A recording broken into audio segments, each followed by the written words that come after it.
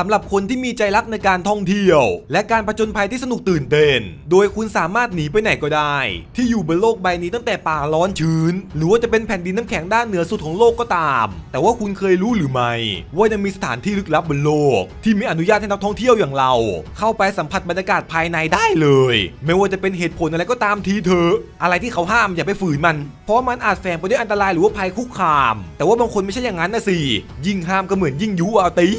โดยเนื้อหาในคลิปวิดีโอนี้นะครับทุกคน ผมจะพาไปชมสถานที่ที่มีอนุญาตให้เยี่ยมชม แต่ว่าคนบางกลุ่มก็ดันอยากจะแอบเข้าไปดูอู้หูต้องห้ามขนาดนี้ยังกล้าเข้าไปอีก เอาละครับ ซึ่งจะมีสถานที่ไหนบนโลกใบนี้บ้าง ถ้าพร้อมแล้วก็ไปชมกันเลย let's go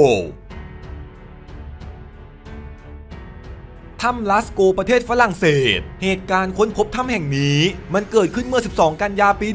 1940 เมื่อนักศึกษา 3 คนนะครับพาสุนัขไปเดินเล่น แต่ว่าจู่ๆมันก็หายตัวไปแบบลึกลับ ทั้ง 3 ก็พยายามตามหานานหลายชั่วโมง สุดท้ายน้องหมามันตกเข้าไปในโพรงอย่างลึกกระสิเป็นหลุมที่แบบทางเข้าไม่ค่อยใหญ่เท่าไหร่ แต่พอเดินลงเข้าไปนี่โอ้โหนี่มันอะไรกันวะเนี่ย โดยทั้ง 3 คนได้เล่าการว่า เขานึกว่าทางนี้เป็นอุโมงค์ลับ ที่พาเขาไปยังคฤหาสน์ใกล้เคียง แต่ว่าสิ่งที่พวกเขาเจอนำไปสู่การค้นพบที่ยิ่งใหญ่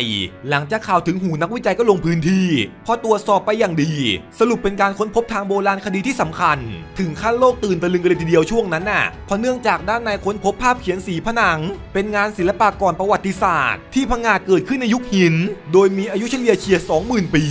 ยืนยันถึงความสร้างสรรค์ของมนุษย์ยุคนั้น โดยแต่ละโถงมีทั้งภาพขนาดเล็กขนาดใหญ่ เปรียบเสมือนห้องแสดงภาพขนาดมหึมา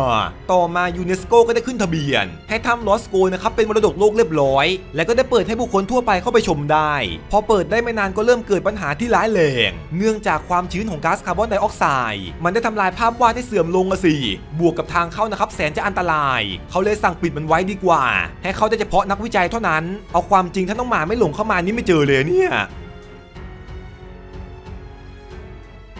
ประตูสู่เทพพูโต โดยมีฉายาว่าประตูสู่นรก เป็นโบราณสถานในตุรกี ที่เมืองปามุคคาเล ซึ่งเป็นสถานที่โคตรจะเก่าแก่ของชาวเมือง ไว้ใช้ในการทำพิธีบูชาเทพพูโต โดยเขาเชื่อกันว่าเป็นหลุมกำจัดพูดผีปีศาจ ถูกสร้างขึ้นมาในช่วงศตวรรษที่ 2 โอ้โหเก่าแก่และโบราณสุดๆ ตั้งอยู่ในพื้นที่แบบลึกลับมาก ไปสำรวจเจอโดยทีมนักโบราณคดีของอิตาลี ในระหว่างที่เขากำลังแกะรอยเส้นทางน้ำพุร้อน เมื่อช่วงปี 2013 ที่ผ่านมานี่เอง โดยพื้นที่ส่วนใหญ่เต็มไปด้วยไอหมอกหนาแน่น จนแทบมองไม่เห็นพื้นดินเลยทีเดียว สัตว์ใดๆที่เดินหลงเข้าไป แน่นอนนะครับว่าตายยั้งเขียด โดยประตูพูโตจะมีลักษณะเป็นช่องป่อง ที่เดินทางเชื่อมไปกับใต้ดินอีกทีหนึ่งก่อนที่ทีมนักวิจัยจะมาเจอได้ก็เกือบตายเหมือนกันเด้อสำรวจมาจากทางเข้าถ้ำเล็กๆขนาดเนี้ยโอ้โหเห็นรูแล้วก็ไม่กล้าเข้าไป แต่พอสำรวจปั๊บก็มาเจอกับสถานที่สวยงามแบบนี้แหละไม่อยากเชื่อนะครับทุกคนอย่างกับเมืองลับแลสร้างมาตั้งหลายร้อยหลายพันปีแล้วไม่เจอ แต่พอเข้าถูกประตูปุ๊บเจอปั๊บเลย ด้านในนะครับเรียกได้ว่าอันตรายอย่างรุนแรงมันไม่ปลอดภัยต่อมนุษย์ไม่ได้หน่อยเดียวเพราะเนื่องจากมีก๊าซคาร์บอนไดออกไซด์ที่มาจากน้ำพุร้อนใต้ดิน ผุดขึ้นมาแบบขาวโพลงอะ โดยปริมาณก๊าซตั้งแต่ 4-53%ขึ้นอยู่กับความสูงหรือว่าเข้าใกล้ปล่องใต้ดินแค่ไหน ถ้าหากสูดดมเข้าไปยังไงก็เด๊ดสะมอเร่ ขนาดนกที่บินผ่านนะครับยังตาย นับประสาอะไรกับเดินลงไปแล้วหุยไม่รอดชัวร์สมัยก่อนเขาเอาสัตว์มาบูชายัญ the god เนี้ยนำวัวเข้ามาบูชายันแป๊บเดียวขาดใจ เกาะเฮิร์สที่ออสเตรเลีย ดินแดนลึกลับแห่งไฟและน้ำแข็ง โดยเจ้าเกาะนี้ถือเป็นอีกหนึ่งสถานที่ที่ถือว่าห่างไกลที่สุดในโลก ซึ่งอยู่ห่างจากเพิร์ธไปทางตะวันตกเฉียงใต้ ประมาณ 2,500 ไมล์นู่นน่ะถ้าหากสาสายตามองไป คุณจะพบกับภูเขาไฟที่ยังคู่และอุอยู่ และมันนั้นเป็นภูเขาไฟที่สูงสุดในออสเตรเลียด้วยสิ มันมีความสูงเกือบ 10,000 ฟุต แถมบริเวณรอบๆถูกปกคลุมด้วยทานน้ำแข็งอีกด้วย เป็นแหล่งอาศัยของพืชสัตว์หลากหลายสายพันธุ์ พื้นที่ส่วนใหญ่นะครับค่อนข้างจะเปราะบางเปราะบาง เพราะว่าหิมะสามารถถล่มไปทุกเมื่อ รัฐบาลจึงสั่งห้ามไม่ให้นักท่องเที่ยวเข้าไป โอ้โหเกาะอะไรวะเนี่ยทั้งห่างไกลแถมอันตรายอีก มีหลายโปรเจกต์ที่ส่งคนเข้าไปสำรวจ แต่มีผู้รอดชีวิตกลับมาน้อยกว่าส่งคนไปดวงจันทร์เสียอีก คุณลองนึกภาพเอาสิว่ามันอันตรายแค่ไหน ในส่วนปลายภูเขาไฟที่สูงเฉียดฟ้านั้น ถึงแม้ว่ามันจะมีความสวยงามแบบพระเจ้าจอร์จ แต่ก็ไม่ค่อยมีใครที่เห็นตัวจริงเท่าไหร่หรอก เพราะมันซ่อนตัวในเมฆหนาทึบเกือบทั้งปี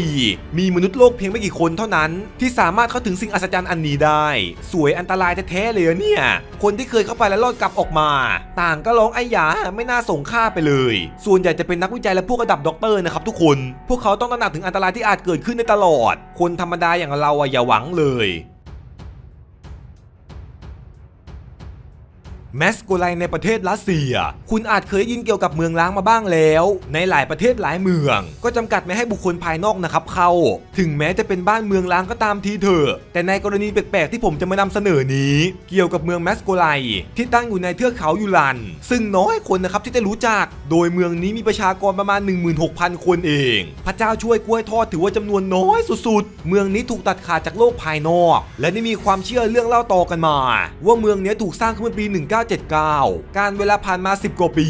ถึงจะถูกประกาศให้เป็นเมืองอย่างเป็นทางการ และได้มีหลักฐานที่ซ่อนอยู่ในหลืบเขานี้มากมาย บางก็ว่ามีฐานทัพซ่อนอยู่ มีการดำเนินการทางทหารลับสุดยอด คนทั้งหมดที่อาศัยอยู่ในเมืองนี้ ล้วนแต่เป็นคนในครอบครัวที่รัฐบาลส่งมา ถ้าใครคนหนึ่งย้ายมาทีก็ต้องเอามาให้หมดอะ เพราะว่าน่าจะเป็นองค์กรแบบลับสุดยอด และก็ได้มีข่าวหลุดออกมาแบบล่าสุด ว่าเมืองนี้นะครับได้ฝังหัวลบนิวเคลียร์เอาไว้เกือบ 80 ลูกเนี่ย โดยแต่ละหัวนะครับพร้อมทำงานทุกเมื่อไอ้หยาหมู่บ้านอะไรวะเนี่ยสยองชะมัด เท่านั้นยังไม่หมดนะครับทุกคนได้มีข่าวสะพัดออกมาอีกเรื่องหนึ่งนั่นก็คือการที่รัสเซียนะครับเก็บหลักฐานเกี่ยวกับมนุษย์ต่างดาว พระเจ้าช่วยกล้วยทอดอันนี้น่าจะเวอร์ไปหน่อย ไม่ว่าความจริงแล้วเมืองนี้จะเป็นเช่นไร ก็ยังไม่มีใครสามารถเข้าไปหาข้อมูลได้ หากคุณเข้าไปโดยไม่ได้รับอนุญาต แน่นอนว่าคุณถูกต้อนรับเป็นอย่างดีแน่มีทั้งปืนไรเฟิลอาวุธครบมือคอยต้อนรับคุณอยู่ และถ้าหากบินผ่านนะครับอย่าสำรวจนาน แนะนำให้รีบหันหัวเครื่องหนีทันที ก่อนที่โชคจะไม่ค่อยดีโดน RPG ยิงใส่ เกาะมอร์แกนในประเทศสหรัฐอเมริกา เป็นเกาะพื้นที่ลุ่มขนาด 4,500 เอเคอร์ ขนาดก็ถือว่าเบลเลอร์แต่ก็ไม่ใช่ใหญ่อะไรมากมาย โดยพื้นที่ส่วนใหญ่ประกอบไปด้วยลำธารสายน้ำเป็นเกาะที่ไม่มีคนอาศัยอยู่ และก็ไม่ค่อยมีนักท่องเที่ยวมาเยี่ยมชม เป็นแบบนี้แต่ปี 1979 แต่ว่าเป็นที่อาศัยหลักของลิงสิข้อมูลแจ้งมาว่ามีลิงเกือบ 4,000 ตัว เป็นสายพันธุ์ที่มาจากอินเดีย แต่ว่าในปัจจุบันน่าจะมากกว่านั้นน่ะ ออกลูกออกหลานไม่ใช่แตะหมื่นตัวแล้วหรือ เป็นเกาะที่ห่างไกลจากแหล่งอาศัยของมนุษย์ แน่นอนนะครับว่าลิงมันได้ย้ายมาจากถิ่นฐานอื่น ความเสี่ยงในการแพร่กระจายโรคก็มากตามไปด้วย เพราะตามข้อมูลของศูนย์ควบคุมป้องกันโรคได้บอกว่ามีเหตุการณ์ลิงหลบหนีออกมา โดยมีการติดเชื้อไวรัสลืมออกมาด้วยสิ ใครก็ตามที่ก้าวเท้าเข้ามาเหยียบเกาะแห่งนี้ คุณคือผู้โชคดีที่มีความเสี่ยง ไอ้หยานึกภาพแล้วก็สยองเลย ในช่วงนั้นข่าวได้แพร่กระจายไปเป็นวงกว้าง คนส่วนใหญ่คงไม่น่าหลงมา แต่ทุกคนเชื่อไหมว่า ว่าเกาะแห่งเนี้ยมันถูกเลือกให้นักวิจัยหลายด้านเข้ามาศึกษา ไอ้หยาสยองขนาดนี้ยังกล้าเข้ามาอีก จะมาศึกษาเกี่ยวกับธรรมชาตินะครับทุกคน เพราะว่าเกาะแห่งนี้มันอุดมสมบูรณ์แบบโคตรๆมันก็ผ่านมาหลายปีและโรคติดต่อน่าจะหมดเกลี้ยง แต่พวกเขาก็ยังควบคุมและป้องกันตัวเองอย่างดี ไม่อย่างนั้นคงไม่มีคลิปนี้มาให้ทุกคนได้ดูหรอก โดยในปัจจุบันมีนักวิจัยบางคนเท่านั้นที่จะสามารถเข้าออกเกาะแห่งนี้ได้ มันถูกป้องกันอย่างเข้มงวด เพราะถ้าหากคนใดคนหนึ่งนำโรคนี้ไประบาดสู่มนุษย์ นั่นแหละได้งานเข้าจริง ๆ นี่มันเกาะลิงสยองนี่ว่าปาติกาบานา สาธารณรัฐเช็ก ปาติกาบานานะครับเป็นซุ้มโค้งธรรมชาติ ที่มีขนาดใหญ่สุดในยุโรปแล้ว ตั้งอยู่ในอุทยานแห่งชาติโบฮีเมียน ที่ประเทศสวิตเซอร์แลนด์เป็นสถานที่สำคัญทางธรรมชาติ ที่คนรู้จักมากสุดในเช็กเกีย เป็นส่วนหนึ่งของฉากหนังหลายเรื่องเลย จากภาพมุมสูงนะครับจะเห็นได้อย่างชัดเจน ว่ามันลายล้อมไปด้วยซุ้มหินธรรมชาติที่สวยงาม โดยมีความสูงเฉลี่ยประมาณ 52 ฟุต และความกว้างประมาณ 26 ฟุต แน่นอนนะครับว่าสวยงามประการตาขนาดนี้ ก็ต้องมีผู้คนจำนวนมากนะครับมาเยี่ยมชม ยิ่งคนเข้ามาเยอะเท่าไหร่ประตูโค้งนี้ก็เสื่อมโทรมไวเท่านั้น และได้มีความกังวลอย่างมากเลยอีกเรื่องหนึ่งนั่นก็คือสักวันหนึ่งกลัวมันจะพังทลายลงมา ไม่เพียงแต่ประเทศจะสูญเสียพื้นที่สำคัญ แต่ยังเสี่ยงต่อโศกนาฏกรรมครั้งใหญ่อีกด้วย ต่อมาในปี 1982 เลยมีการตัดสินใจสั่งปิดในบางส่วนเอาไว้ก่อน ดังนั้นทุกคนจะไม่สามารถเข้าชมได้ทั้งหมด เพราะว่ากลัวจะเกิดเหตุสลดขึ้นนะสิ เพราะว่าจากการจดบันทึกมา ได้มีการกัดซอกของหินลดลงอย่างเห็นได้ชัด ถึงแม้จะไม่เกี่ยวกับนักท่องเที่ยวแล้วก็ตาม มันเกิดจากธรรมชาติเองนี่แหละมันสุดโทมลงอย่างรวดเร็ว พอใครเข้าไปทีก็ลุ้นทีอะ ไม่รู้จะพังถล่มลงมาเมื่อไหร่ ถ้าเราลองดูจากมุมไกลๆนะครับทุกคน เหมือนกับหินมันอยู่แบ่งกันเป็นก้อนๆ ไม่ค่อยมีความยึดเกาะหรือว่ามั่นคงเท่าไหร่เลย เพราะเนื่องจากหินส่วนใหญ่เป็นหินทราย แต่มันก็ช่างน่าประทับใจไม่ใช่น้อย เพราะเนื่องจากมันได้สร้างสิ่งสวยงามมาดึงดูดสายตาคน ให้มาเชยชมจากต่างแดนเยอะทีเดียว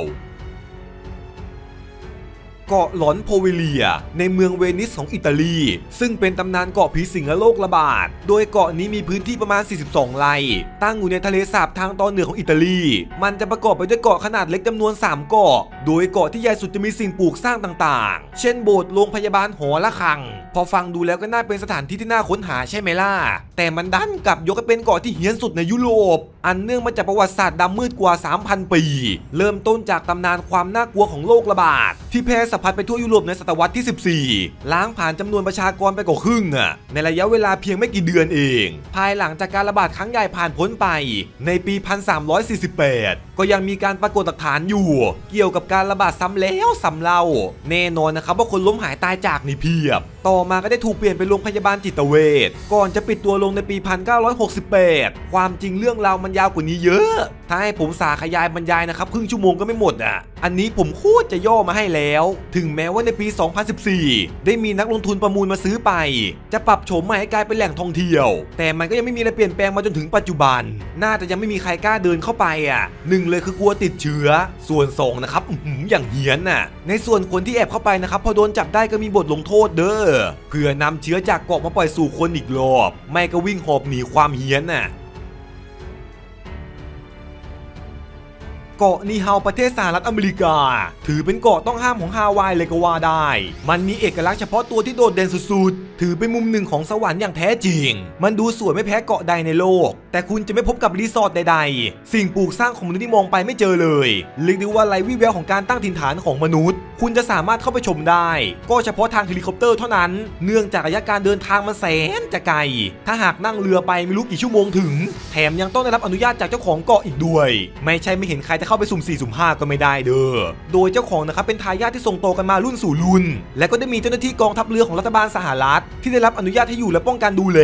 คอยเผชิญหน้าและต้อนรับแขกที่ไม่ได้รับเชิญ และด้วยสิ่งเหล่านี้เอง จึงได้มีชุมชนเล็กๆ เกิดขึ้น แยกตัวออกมาจากโลกภายนอกไม่น่าจะใช่ใครไกลนะครับก็ทายาทเจ้าของเกาะนี่แหละ โอ้โหจะสร้างทีต้องมีเงินแบบโคตรมหาศาล ใช้เฮลิคอปเตอร์แบกปูนมาเอาสิเขาเชื่อกันว่ามีคนอาศัยอยู่ประมาณ 170 คน จะทำฟาร์มการเกษตรเป็นหลัก รวมไปถึงการใช้พลังงานแสงอาทิตย์แทน ใครที่ไม่รู้ลูกเผลอหลงเข้ามานะ อาจจะตกเป็นอาหารของพวกเขาเหล่านี้ก็ได้